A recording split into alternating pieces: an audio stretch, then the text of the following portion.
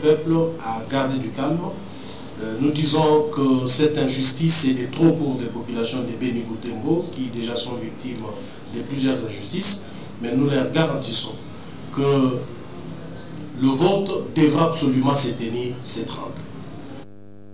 Et autre titre d'actualité, la conférence épiscopale nationale du Congo et les Francs communs pour les Congo restent divisés quant au report partiel des élections pour l'abbé Donatien Cholet. Rien ne justifie ce report alors que pour le FCC, l'église catholique n'est plus au milieu du village. Suivez. Après le report des élections dans deux territoires du Nord Kivu, Benyé Boutembo et Yumbi, à Maïdobe, la conférence épiscopale nationale du Congo regrette cette décision et estime que ce report ne se justifie pas. Que entre la campagne électorale et le jour du scrutin, le risque était plus grand de contamination était plus grand pendant la campagne que pendant le vote. Imagine, observez la masse de gens qui est allé, euh, qui s'est mobilisé pour la campagne électorale. Est-ce que cela a eu un effet sur l'expansion de la maladie? On sait comment maîtriser, on sait comment gérer, on sait quelles euh, précautions prendre. Il s'agit pour chaque bureau de vote prévoir 600 et quelques personnes. On sait quelles dispositions prendre pour éviter éventuellement. La machine ne peut pas contaminer. Mais pour le Front commun pour le Congo, un des communicateurs d'Emmanuel Ramazani Chadari ne trouve aucune raison pour que l'Église catholique puisse avoir un parti pris.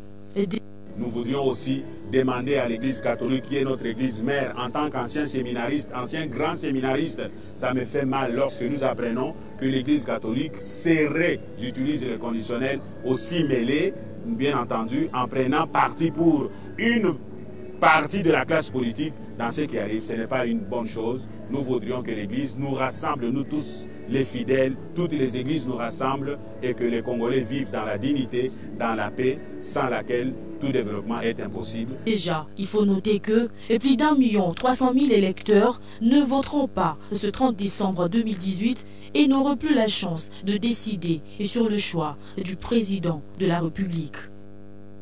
Un deuxième intervenant dans ces journaux, c'est également tout de suite.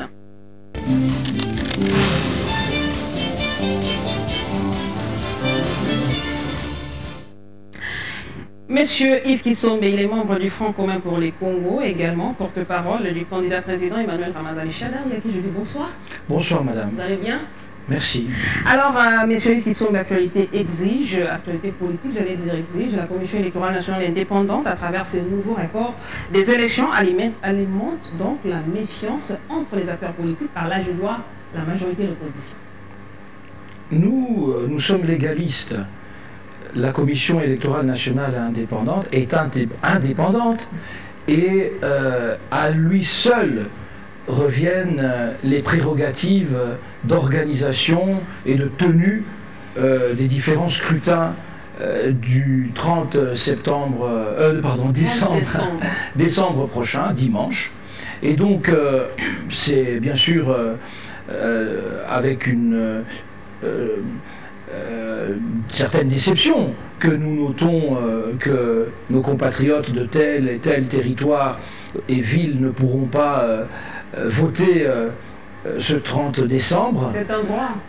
c'est un droit. la loi prévoit aussi que lorsque, à ma connaissance, comme en 2006 et en 2011, des circonscriptions comme Befale, comme Ikela, n'étaient pas en mesure de voir le scrutin euh, être tenu, ou les scrutins être tenus, il y a eu un report et l'élection s'est euh, produite, s'est déroulée six mois plus tard. Donc euh, ça n'est pas nouveau. Même à travers le monde, on, le constate. Il arrive que à tel ou à tel endroit dans le pays, moi je ne suis pas l'avocat de la CENI, mais je note que ce sont des choses qui peuvent arriver. Et lorsque des raisons de sécurité physique, mais aussi sanitaire, comme euh, il est avancé, comme le gouvernement a pu le constater et en informer la CENI, comme la CENI elle-même en a pris la mesure, sans doute, puisque nous avons suivi euh, euh, la position de la CENI, l'annonce de sa décision modifiant la précédente décision concernant la tenue des scrutins, nous, nous prenons acte. vous savez, Emmanuel Ramazani Chadari est crédité de près de 70% euh, des, des, voix à cette élection présidentielle à tour unique. Donc c'est avec une impatience incomparable que nous attendons que les Congolais s'expriment, parce que nous sommes extrêmement confiants pour l'avenir de ce pays. Est-ce que ce report est légal Je vous l'ai dit, euh, à mon sens, euh, cela est parfaitement légal parce que la Commission électorale nationale indépendante est euh, en droit d'évoquer l'impossibilité matérielle, qui d'ailleurs en droit est une notion qui passe dans différentes matières en réalité. Il y a une impossibilité matérielle d'organiser, une impossibilité technique d'organiser les élections dans telle partie du pays. Euh, c'est aussi euh, l'idée qu'à l'impossible nul n'est tenu. On ne va pas, on ne va pas, on ne va pas nécessairement, à mon sens, tel que j'ai compris et tel que je le pense. Vous expliquez ces phénomènes? Il y a la population qui va voter et le président élu va prêter serment le 18 janvier. Et une autre partie de la population qui va voter en mars. Comment ça s'explique Non, madame, je pense que, euh, vous savez, même les droits humains fondamentaux, le droit à la vie, Hein, qui euh, ne souffre aucune exception, hein, eh bien, euh, ces droits humains fondamentaux, en cas de légitime défense, par exemple, sont des droits qui peuvent être atteints. Hein, euh, et les droits euh, à la libre circulation, euh, le droit, les droits économiques, des droits fondamentaux en général, comme le droit euh, à l'enseignement, le droit à la santé, etc., sont des droits qui connaissent des restrictions parfois au nom de la sécurité nationale euh, pour un temps. Donc, de la même manière, je pense que lorsqu'une impossibilité est constatée, euh, pour ne pas causer un préjudice grand à la nation euh, que serait la non-tenue d'une élection aussi importante, eh bien, on y va avec euh, la majorité, la très large majorité du corps électoral, euh, sauf une partie qui, non pas en termes de sanctions, Hein, mais en termes de, euh, de précaution pour l'ensemble du corps électoral, sera malheureusement euh, non en mesure de euh, participer au scrutin. C'est ce que la CENI nous explique. Et moi, je pense que sur le plan purement légal, il n'y a pas en soi de problème.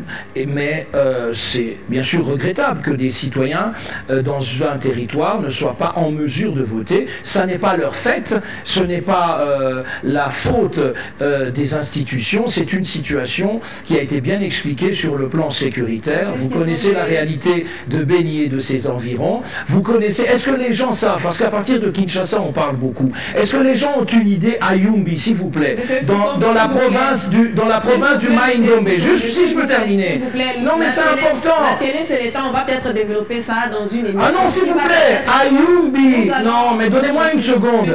Ayumbi. Est-ce que les gens connaissent le conflit, le conflit entre les euh, populations, les populations Banounou et Batandé.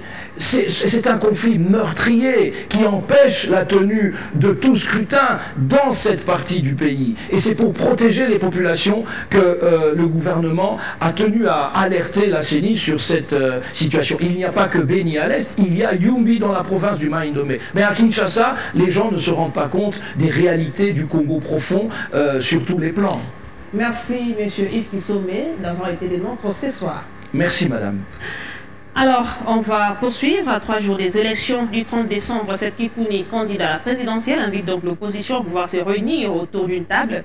Objectif, parvenir à une solution concrète quant aux zones d'ombre liées au processus électoral en cours, justement avec les rapports partiels des élections. Une rencontre qui visera particulièrement l'intérêt de la République. Écoutez, malheureusement, nous sommes exactement là où la CENI et le gouvernement voulaient que l'on puisse être. Il y a quelque chose que j'ai toujours reproché euh, aux acteurs politiques qui sont en opposition, c'est le fait qu'ils n'anticipent pas. Maintenant, la CENI nous a pris dans un piège et nous sommes obligés de prendre une décision très difficile, mais une décision nécessaire. Raison pour laquelle j'ai lancé cet appel-là. Je veux que tous les candidats de l'opposition que nous sommes, nous puissions nous réunir autour d'une même table pour décider. À deux jours du scrutin, c'est important qu'on le fasse. c'est important qu'on puisse se réunir autour d'une même table pour décider. Si nous parlons de l'avenir de la République démocratique du Congo, on doit se dépasser, on doit mettre nos égaux de côté.